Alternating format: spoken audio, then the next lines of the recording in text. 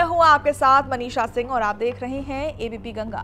मेरठ में कल देर रात गौ तस्करों और पुलिस के बीच मुठभेड़ हो गई, जिसके बाद दो गौ तस्करों को पकड़ा गया है। आपको हम बता दें कि इस मुठभेड़ में दोनों आरोपियों के पैर में गोली लगी है। बताया जा रहा है कि पुलिस ने जवाबी कार्रवाई के तहत दोनों के पैर में गोली मारी है। वहीं मुठभेड़ में बदमाशों के दो अन्य साथी मौके से फरार हो गए, जिनकी पुलिस तलाश कर रही है। इनके कब्जे से पुलिस ने दो तमंचे, तीन ज़िंदा कारतूस, चार खोखा कारतूस के अलावा कार की डिग्गी से एक बछिया, चार रस्से, गोकशी करने वाले उपकरण और जानवरों को बेहोश करने वाले इंजेक्शन आदि बरामद किए गए हैं। घायल अवस्था में दोनों गौ तस्करों को पुलिस ने इलाज के लिए जिला अस्पताल में भर्ती कराया है। वहीं इनके अन्य आपराधिक इतिहास की पुलिस जाँच कर रही है। अवगत कराना है कि आज देर रात मुखबिर खास से सूचना मिली कि दौराला क्षेत्र में कुछ बदमाश गौकशी करने की फिराक में सूचना मिलते ही थाना दौराला पुलिस थाना फलावदा एवं सलवास की टीम चेकिंग के लिए लगाई गई थी।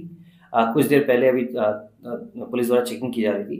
तभी ग्राम ममूरी के पास एक डस्टर गाड़ी जिसका नंबर यूपी पंद्रह बी पी उनतीस उनतीस था उसे पुलिस द्वारा रुकने का इशारा किया गया।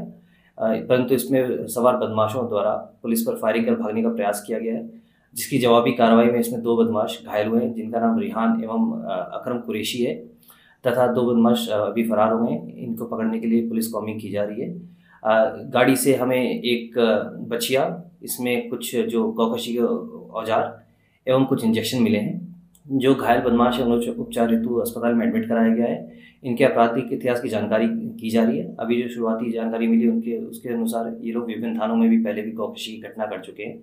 अभी इसमें अग्रिम विधि कार्रवाई की जा रही है। पुलिस अधीक्षक का कहना है कि जब पुलिस टीम ने गौ तस्करों को घेरा तो वो भागने की कोशिश करने लगे। इसी दौरान गौ तस्करों ने पुलिस टीम पर फायरिंग शुरू कर दी। पुलिस की आत्मरक्षार्थ जवाबी, फायरिंग में दो गौ तस्करों यानी कि रिहान और अकरम कुरैशी के पैर में गोली लग गई और दोनों बदमाश घायल हो गए, जिसके बाद पुलिस ने इन दोनों को घायल अवस्था में गिरफ़्तार कर लिया है, जिसके बाद इन्हें इलाज के लिए जिला अस्पताल में भर्ती कराया गया।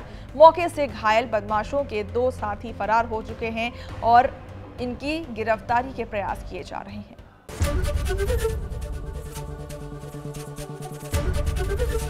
एबीपी गंगा, खबर आपकी, जुबा आपकी।